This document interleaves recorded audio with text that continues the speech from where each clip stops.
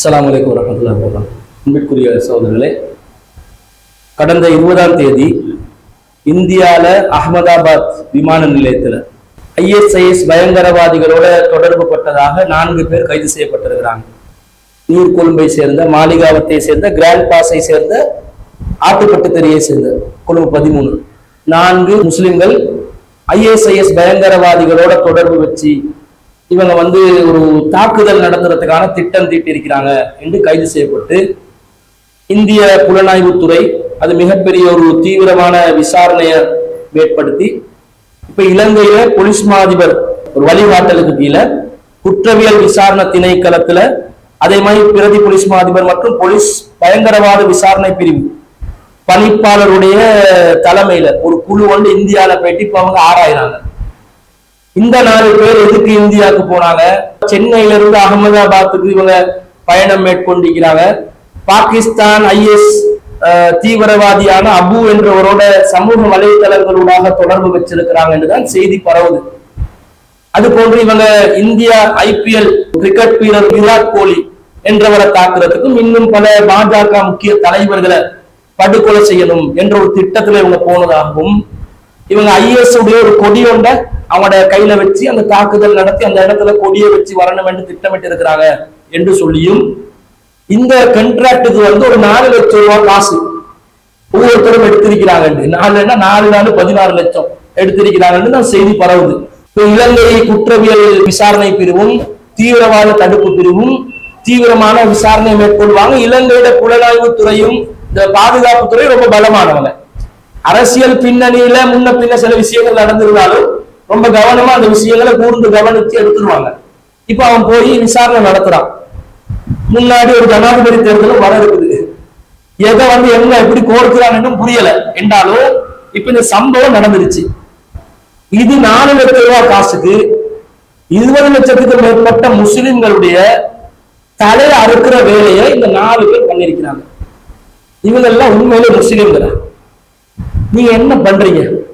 நீங்க வழிப்பற கொள்ளையர்களாக இருந்தா அல்லது கூலிக்கு கொலை செய்யக்கூடிய கொலைக்காரர்களா இருந்தா நீங்க அந்த வேலையில நீங்க உங்களோட பாவத்தை செஞ்சு தொடங்கி போனா உங்களோட போயிடும். இது என்ன பண்றீங்க? ஐஎஸ் சுடர்பாகி அங்க அபு என்றவனோட கண்டக்டா இதெல்லாம் உண்மையாக இருந்தால் மேலதிக விசாரணைகளை தான் உண்மையான தகவல் என்னன்றது விலகும் இதுவரைக்கும் வந்திருக்கக்கூடிய விசாரணையில இந்த அளவுக்கு ஒரு பயங்கரவாத செயலை இலங்கை நாட்டுல ஆயிரத்துக்கும் மேற்பட்ட வருஷங்கள் நாங்க வாழ்ந்த நட்பு ரீதியாக பிற மத சமூகங்களோட நல்ல ஒரு எண்ணத்துல நல்ல ஒரு உறவுல வாழ்ந்த இந்த முஸ்லிம் சமூகத்துடைய அந்த உறவை ஒரு கடும் புள்ளி வைக்கக்கூடிய ஒரு வரலாறாக மாத்தி பயங்கரவாத தாக்குதல் ரெண்டாயிரத்தி பத்தொன்பதுல நடந்துச்சு. அரசியல் பின்னணி அதுக்கு இருக்குதா இல்லையான்றது மக்கள் மத்தியில் ஒரு பேச்சு பொருளாக இருந்தாலும் செய்தவர்கள் முஸ்லிம்கள். இவன் தானே முன்னுக்கு போனான்.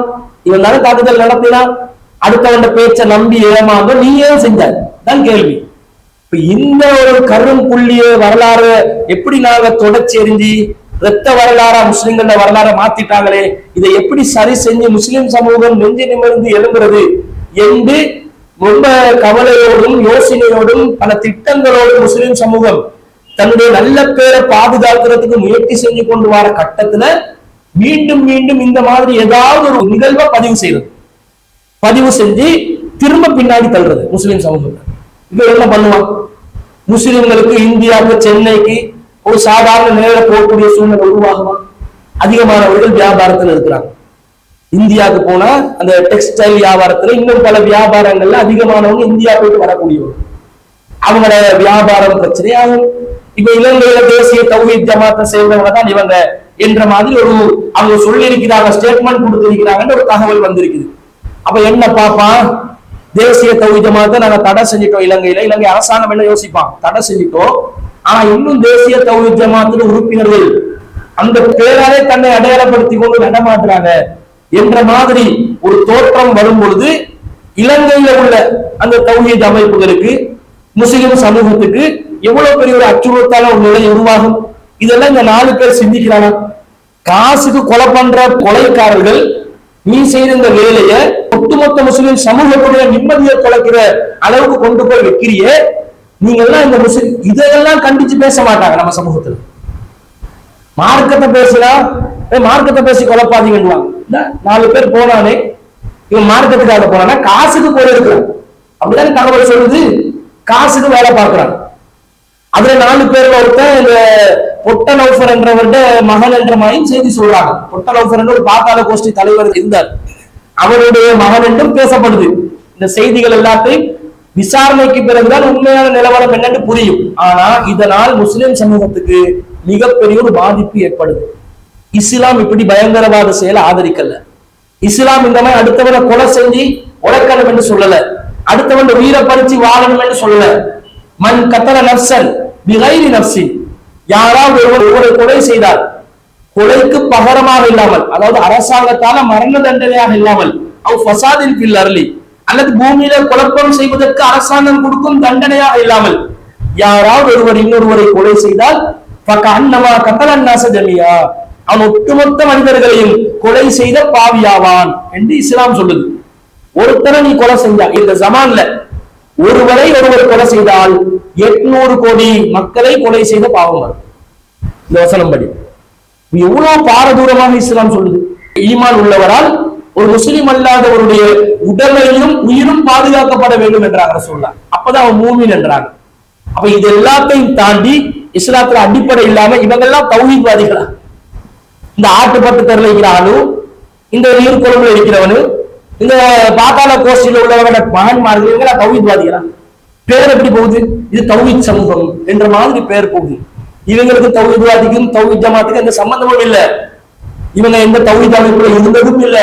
இவங்க வந்து இஸ்லாமிய வட்டத்துல வைக்கிறதுக்கே இப்ப கேள்விக்குறியாவது வைக்குது ஆனா திசை- திருப்பி சிங்களத்துல ஊடகங்கள்ல இந்த சம்பிக்க ரணவக்க போன்றவர்கள் இனவாதிகள் எல்லாம் இத கையில ஒரு நிகழ்ச்சி எடுத்து பார்த்தீர்களா நாங்கள் சொன்னோம் அல்லவா? இவர்கள் முடக்கப்படவில்லை அல்லவா தேர்தல் வருந்தாலே ஒரு டாபிக் வேணும்.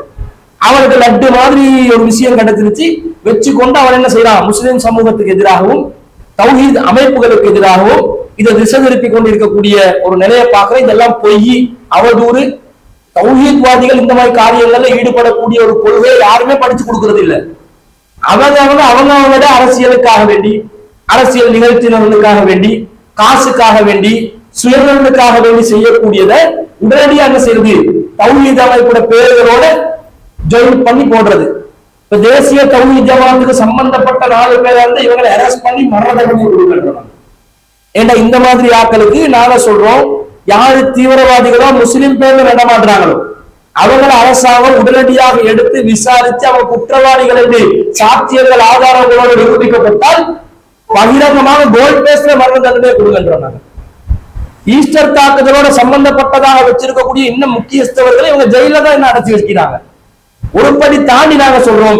இந்த மாதிரி ஈஸ்டர் தாக்குதலோடு சம்பந்தப்பட்ட தீவிரவாதிகள் என்று நிரூபணமானவர்களை கோல் பேஸ்ல காலி முகத்திடல்ல பகிரங்கமாக தூக்கு தண்டனை கொடுங்க என்றோம். அவ்வளவு நாங்கள் இதை வெறுக்கிறோம். இஸ்லாத்துக்கும் சம்பந்தம் இல்லை என்கிறோம். இஸ்லாம் இதை ஆதரிக்கவில்லை என்கிறோம். இதை செய்பவர்கள் இஸ்லாத்தை குழி தோண்டி புதைக்கக்கூடியவர்கள் என்கிறோம். ஆனா ஊடகங்கள் அதை தசை திருப்புறதுக்கு வாய்ப்பு இருக்குது. இதை வன்மையாக சிலோன் தௌஹீத் சார்பாக நாங்கள் கண்டிக்கிறோம். இந்த மாதிரி காரியங்களை இஸ்லாம் ஆதரிக்கவில்லை முஸ்லிம் சமூகமும் ஆதரிக்கவில்லை. பல ஆயிரம் வருடங்களாக இந்த நாட்டில் வாழக்கூடிய முஸ்லிம்கள் நிம்மதியாக வாழ்ந்து கொண்டிருக்கிறாங்க. மார்க்கத்தை பிரச்சாரம் பண்ணுவாங்க மார்க்கத்தை கடைபிடிப்பாங்க. அடுத்தவன களத்தறுத்து வாழணும் என்ற எண்ணம் முஸ்லிம்களுக்கு இல்ல. முஸ்லிம்கள் எப்போதும் அடுத்தவர்களை வாழ வைப்பவர்கள் அடுத்தவர்களை சாக வைப்பவர்கள் அல்ல. என்பதை வரலாற்று நடிகர்களும் நாங்கள் நிரூபிச்சுட்டு வந்திருக்கிறோம். இந்த மாதிரி விரல் விட்டு எண்ணக்கூடிய ஒரு சில செய்தாங்களால இந்த முஸ்லிம் சமூகத்துக்கு ஒரு கேவலமான நிலை ஏற்படுகிறது. இதை நாங்கள் ஆதரிக்கவில்லை. இவர்கள் இந்த குற்றத்தில் நிரூபணமானால் இவர்கள் இந்த குற்றத்தை செஞ்சிருக்கிறாங்க என்று நிரூபணமானால் மரண தண்டனையை கூட அவர்களுக்கு விதிக்கலாம் என்று தான் நாங்கள் சொல்றோம். என்பதை கூறிக்கொண்டு இந்த சம்பவத்துல சம்பந்தப்பட்டவர்கள் நாங்க வன்மையா கண்டிச்சு இவங்களுக்கு விசுவாத்துக்கும் சம்பந்தம் இல்லை என்பதை சொல்லிக்கொண்டு நிறைவு செய்கிறேன். வாகனங்கள்